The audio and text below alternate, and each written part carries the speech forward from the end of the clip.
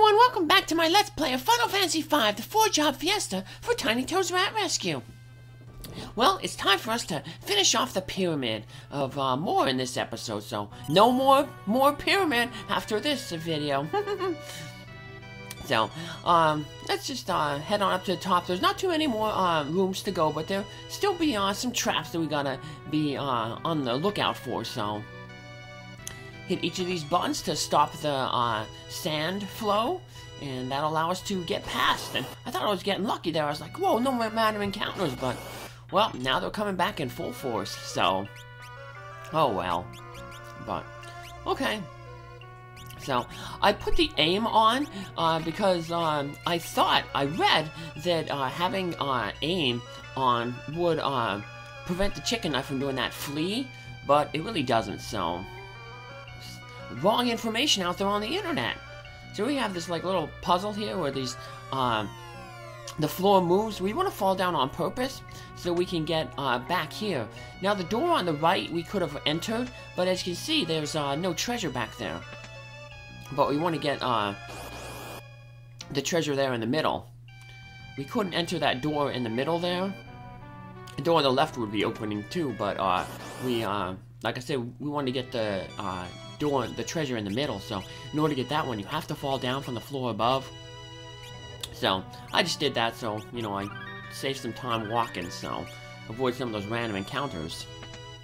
But we got another Gaia hammer there, so just goes to show like how good that Gaia hammer that we got back when we stole it off of uh, Titan is. Yeah, we're not getting one uh, from a treasure chest until this late into the game, an entire uh, world later. So now, the Thief's sprinting ability does help, uh, but uh, I'm not going to use it to show that you don't really need the, uh, the sprint ability to, you know, navigate this little trap. So, I'm going to head down the left here first, get some treasure. And uh, the door we want to get to is the one in the middle there, but unfortunately we can't reach it from this left side. See that, uh, the little spots that are like grayish? Yeah, those are like little slides, so uh, you'll just slide back down. So we're going to have to go up the other side of the room here. So once again, just watch for the trap. So, another random encounter. And uh, if you're on a safe tile, you don't have to worry because it'll stay under your feet. So that's why it's a safe tile. And then two last treasure chests. One of them has a monster in it, and all these monster attacks, they were the, the group of the four uh, the damned enemies, those clown enemies. I just want to go up there slow so I don't actually step on the slide. And we finally get the first of the four tablets. And after each uh, tablet that we get, usually they'll get like a little bit of a cutscene and it'll kind of unlock something new, so... Holy moly, what's going on? We are being risen to the outside of the pyramid. Yes, this is just, uh, if it would have went, uh, up the stairs next to, uh, where the entrance was, we would end up here. But apparently the tab says something about the Dragon King Bahamut. And see that little, uh, piece of land there? That, that's where the airship was? Well, it's actually, like, Bahamut, the King of Dragons. The peninsula, it's sinking. Mm -hmm. It was kind of shaped like a dragon if you look at it like the Mysidia Peninsula in uh, Final Fantasy IV. Uh, uh, the great whale comes out of like the dragon's mouth. So there's Bahamut, the great dragon, the Dragon King. Mm -hmm. He's an optional boss that we can fight, but we'll fight him because, you know, like I said, 100%ing everything, so... I will await thee at the summit of the North Mountain. Yep, so we're gonna have to climb that dungeon again. But luckily, uh, the monsters don't get any tougher, so we just have a tough boss at the top, so. And now we have an airship to fly around. That airship was on that peninsula. Well, now it just floats off. And we can pick it up. Woo! So, goodbye, Earth Pyramid. We don't want to see you anymore. Alright. Now, before we head into this little forest, we're gonna uh, heal up and make a save because we have kind of a tough boss here uh, coming up. And I got some more false information uh, online. uh, this boss changes uh, her weakness. And uh, online was saying that you can use the scan ability from the blue mage to basically tell you what uh, the enemy's level, hit point status, and weaknesses are. But I could never get this uh, the scan to work. Um, but what did work is um, the ranger class, the elemental bows. So I could uh, use an elemental bow, and if it did a lot of damage, then I knew, okay, uh, that's the weakness that she's on. And then I could break a rod, so... Unfortunately, I don't have a lot of rods, so... Um, but it's okay, so... It worked out uh, a-okay in the end, so... It did take me, um, this is actually my third attempt, so... Yeah, it was uh, a little tough uh, doing this fight, so... Mainly because, like I said, uh, the lady keeps uh, changing her weaknesses, and she can also hit pretty hard, so with a lot of different spells, and I wasn't getting the weaknesses that I needed. So, or if I got a weakness and I was about to break a rod, she would change her weakness. So, you'll see it was kind of an annoying fight, but. Alright. What's going on? Listen, a Windrake! Mm -mm. Could it be the Windrake from Castle Tycoon? Remember, there's not too many Windrakes in here. There's Galuf's Windrake, and then that one from Castle Tycoon. It must be, because look, it's Lenna! Alright, we finally get Lenna back in our party. Well, not yet. But, she's back.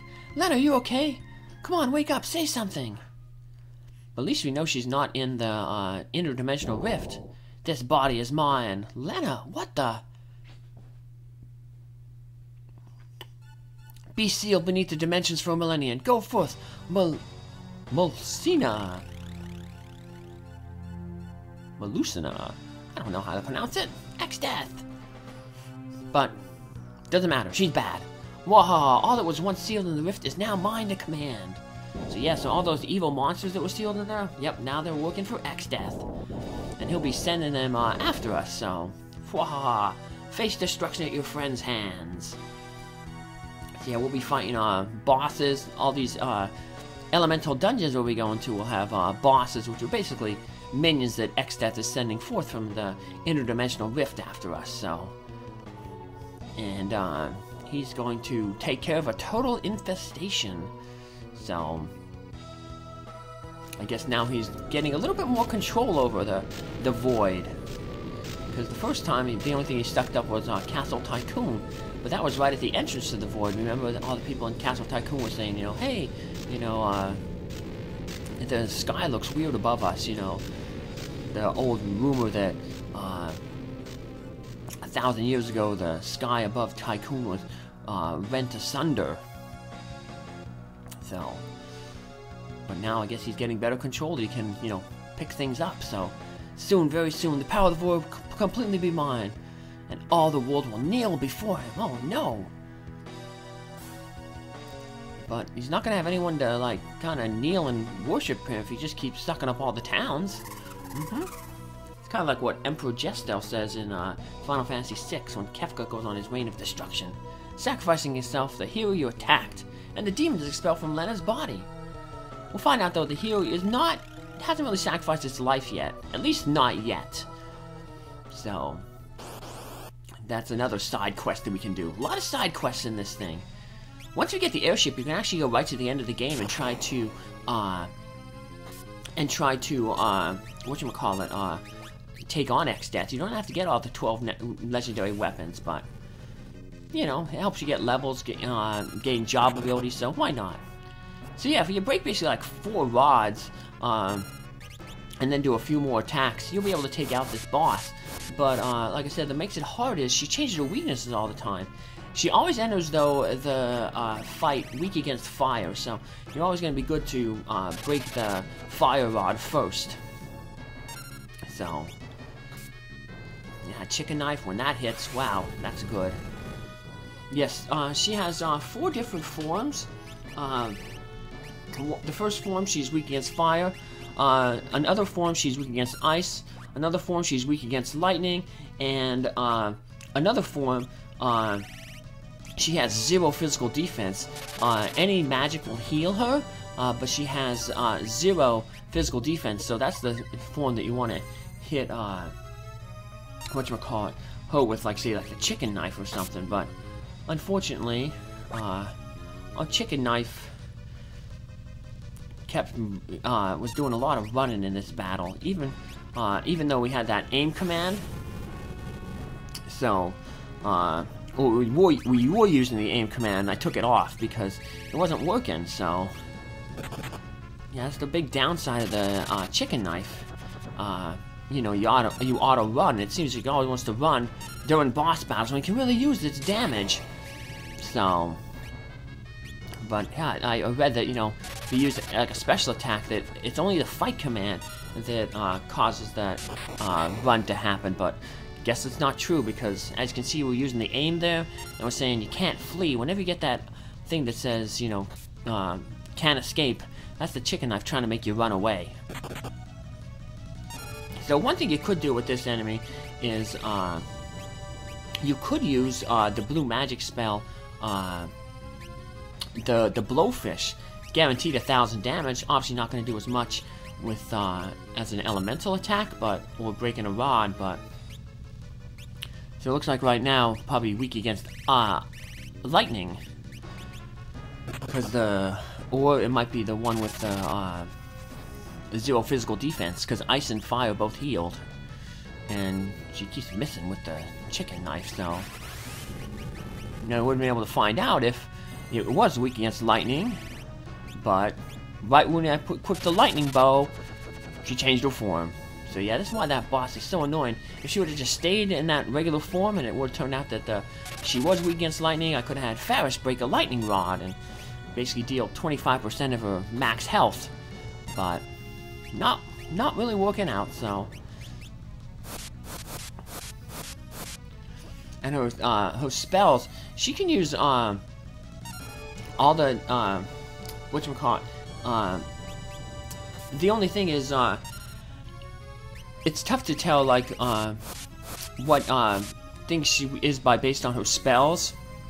Because when she's weak, when she's weak against fire, she'll use both uh, bolt and ice. Uh, when she's uh, weak against ice, uh, she'll use bolt and fire three. and when she's weak against lightning, she'll use ice and fire three. So she basically will use any spell other than the one that she's weak against. So you don't know. She used fire three there, so she could be weak against uh, ice, or she could be weak against lightning. You you wouldn't know. It's one. It's you know 50-50 coin shot there. And if you guess wrong, which I have a tendency to do for some reason, um, you'll end up healing her. So. I mean, if you want to play risky, you know, if you made that save right outside the forest, you can, you know, risk uh, you can, of course, risk breaking a, a rod and healing her, but we don't have a lot of rods to uh, break. Now, we could buy some more in uh, uh, Karnak, but not really uh, worried about doing that. We have other things to do to take care of enemies, especially now we've got that, like, chicken knife. But, and we only have one character here who can break rods, Faris, so she's usually better off just, uh, using the air knife and the uh, arrow 3. And she'll be getting a... Once we get the airship, we're able to get another really good blue magic spell coming up. So... So it looks like she's weak against lightning there, because she took a lot of damage from uh, the lightning bow. So now we can break another rod. Look at that. Fourth of her health. So she has like 20,000 hit points. So yeah, about a fourth there. Woohoo! And Faris mastered the Blue Mage job finally. Woohoo! Lenna! Yeah, everyone will master their jobs, but everyone's mastering most jobs. Everyone just pretty much has to master the uh, the archer job. Lenna, sister, Krile, the castle, we were the darkness, it. We know, don't try to speak. Now, even though we're going to get Lenna back in our party, I'm not going to revive her right away because we want to get that one blue magic spell. And uh, as a berserker, uh, we're going to have to confuse the enemy to get the spell. and uh, we don't want her being a berserker and knocking the enemy out of uh, the berserk the uh, the confusion status. So this is where it's important that we kept on to that dancing dagger. If we don't have a beast the ability to use a beastmaster, because in order to get this enemy to um, use the blue magic, uh, it has to be either controlled with the beastmaster or it has to be uh, confused we'll say the Dancing Dagger, or the Confuse spell. Now we can enter Interdimensional Rift near where Castle Tycoon is. Hurry, it won't be much longer before Exdeath gains the power of the Void. But Ghido said we had the power to fight and win him and win. We need the 12 legendary weapons. They're in the sealed castle of Kuzo. Come on, let's go. And we were told it's kind of near Tule. So, now the game's gonna try to take us there, but it's another cutscene time here. A lot of plot coming up here. They said none can control the infinite power of the void. Pathetic fools, power of the void. Reveal yourself to me. Go forth and destroy everything. Show how absolute your power really is. But yeah, how's ever gonna, gonna you know, gonna worship you if you like you destroy everything, X Exdeath? And now he's going to uh, unleash the power of anger from Tiny Toe. He is to start uh, sucking up a bunch of towns and castles. So this is uh, Walse, where the water crystal was. So yep, he's having the void eat it. There's uh, Istory, the sheep village. We found Ramuh in that uh, forest off to the side there. Uh-oh, what are you doing? All the towns are being sucked into the void. Exdeath, stop! I don't know if we can hear you guys. Oh, there's the, that's gonna be the Moogle village. There's the North Mountain up there. But we can't go there now, uh, because remember, the the airship can't land in the desert. It can only land on, uh, on grass. So, I have to find a different way to get there. Uh-oh, and this is what gets Tiny Toe really mad. They, um, they, uh, Exdeath absorbs his village, uh, Lix. Ah, Tiny Toe, help!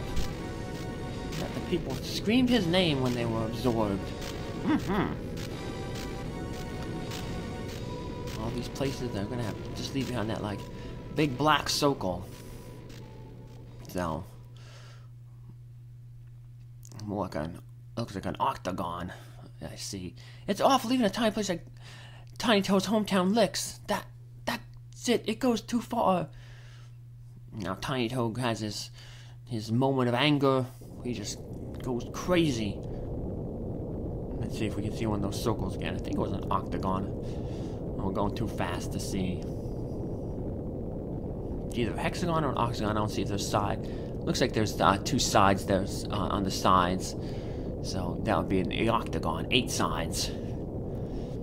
If it ain't, if it ain't the octagon, it ain't real. That used to be the uh, tagline for UFC. Time to stop, get a hold of yourself when it was uh, less regulated. Back when it was like in the uh, 90s and was just starting out and wasn't, you know, had all the rules in place that it does now, like weight classes and uh, the scoring and the rounding and the judging and stuff. So, alright. So now let's go to Kuzo Castle. So there was the Wind Shrine. So, uh, ooh, the Chocobo Forest. So there it is. New tool. There it is. We should have landed on the left. Um, because now when we step out of here, we're gonna have to go all the way around that little lake to to get to the airship. But, alright. Well, I equipped the dancing dagger because I wanted to try something in here. There was a uh, a new enemy. Well, there's an enemy that we found in here earlier, uh, and I wanted to see if I can tempt it. Because if I could use it, confuse it, it could potentially defeat itself. But unfortunately, this enemy we can't confuse it with the uh, the dancing dagger. Princess Lenna, thank goodness you're okay. What was that? What is that book? Shall I read it? That guy basically just uh, will tell you, will uh, reread what, you know, what Ghido told you, so. An island shrine protected by the wind. Perhaps refers to the shrine of the island uh, east of Tycoon. Or west of Tycoon. The castle suddenly appeared. Beyond the river's torrents, torrents of water, a waterfall? Is it true that the rift between the dimensions actually opened up above Tycoon? I might have just read one of those things because I went really fast there, but basically that guy, he'll just reread where all the stuff is. Uh, so, and we get like, uh, like the wind shrine, that guy said, he brought some of the uh, healing water. So we can heal up here uh, every time we come in here. So we'll be going through this castle. Uh, you can come through it every time you get a new tablet. We won't be doing it every time because, you know, there's no point in us breaking all the seals of the weapons. Because, you know, most of these weapons we won't be able to use because of our uh, classes. So we're going to pick out the ones that are kind of, I guess, the most useful uh, for us. So we'll grab the Yoichi's bow for a hunter. Uh, it has 101 attack power and uh, gives plus 3 strength, plus 3 agility, and has a 30% chance to uh, land a critical hit. So basically, you know, one third of the time your attacks are going to be critical hit. So here's the Rune Axe. Uh, it gives plus 10 attack, uh, it gives 71 attack power, uh, gives plus 3 magic, and at the cost of 5 magic points, it adds plus 10 to your attack. So it basically steals your magic points to hit harder. And then the last thing we're going to get is the uh, Assassin's Dagger, because pretty much every class can use knives. And the Assassin Dagger gives uh, 81 attack power, plus 1 agility, and it has a 25% chance of uh, instant death. So those are the main weapons that we're going to get. Most of the other ones we really can't use, so uh, the wand we can probably use. Uh, that kind of just boosts all your elemental spells. Uh, but, you know, we don't really worry too much about elemental spells. So, another cutscene time. Prisoners of space between dimensions.